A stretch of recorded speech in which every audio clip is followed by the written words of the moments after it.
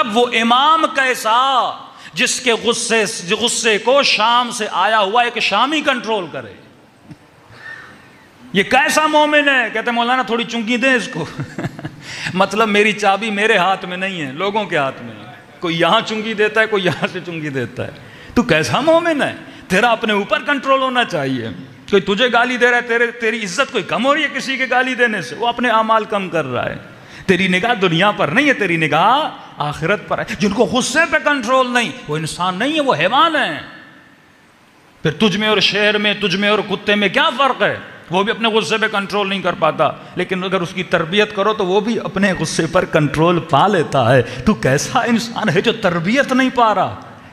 تیرا مقام حیوانیت سے بلند تھا۔ مولانا فرمائے سے پانی پلاؤ۔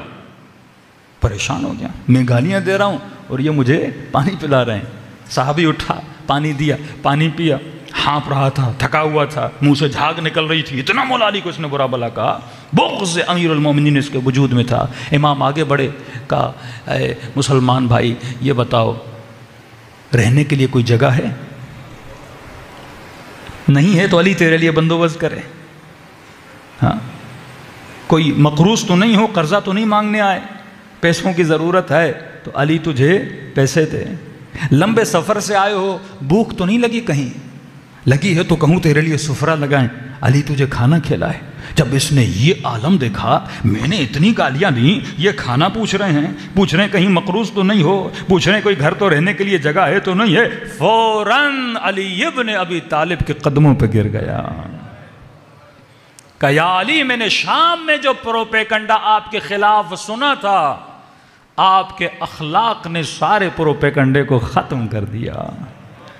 میں نے جو سنا تھا یہاں وہ علی نہیں دیکھ رہا۔ میں نے جو سنا تھا یہاں وہ اخلاق نہیں دیکھ رہا۔ کہ یا علی، میں تو آپ پہ ایمان لانا چاہتا ہوں۔ مولا تبھی اپنے اصحاب کو دیکھتے کہتے ہیں، اگر علی بھی غصہ کرتے، کیا ہونا تھا؟ یہ وہی بغض لے کر یہاں سے چلا جاتا۔ تبھی فرماتے شیو کونو لنا زینن ولا تکونو لنا شینا۔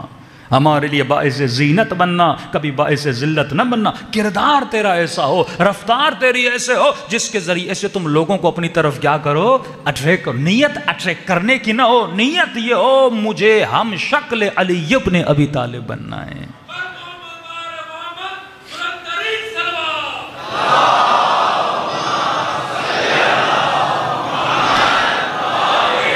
محمد. وَأَجِّلْ اخلاق اہل بیت میں خود کو ڈھالنا ہے.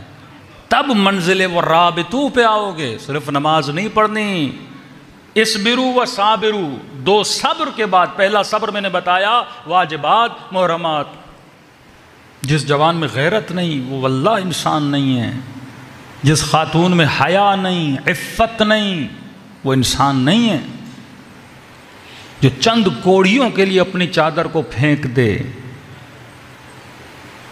ایک مسلم خاتون کی نشانی چادر پہننا ہے، اپنے حجاب کا خیال کرنا ہے۔ فلسفہ حجاب کو سمجھنا آج لوگوں کو فلسفہ حجاب نہیں پتا بارہا کہہ رہا ہوں، پاکستان کیسا بھی ہے، لیکن ہزار ہاں ویسٹرن کنٹریز سے بہتر ہے۔ یہاں دو چیزیں تیری بچتی ہیں، ایک حیا بچتا ہے، دوسری غیرت بچتی ہے۔ ان کنٹریز میں مال تو ملے گا، دولت بھی ملے گی، لیکن تیرا حیا اور تیری غیرت بائی ٹائم ختم ہو جائے گی۔ حدیث معصومی نا شیطان پہلے ایک تیر مارتا ہے، پھر دوسرا تیر مارتا ہے۔ تین تیر بھی کسی حیوان کو بھی لگے نا، حیوان گر جاتا ہے۔ انسان کہاں بچ سکتا ہے اس کے تیروں سے؟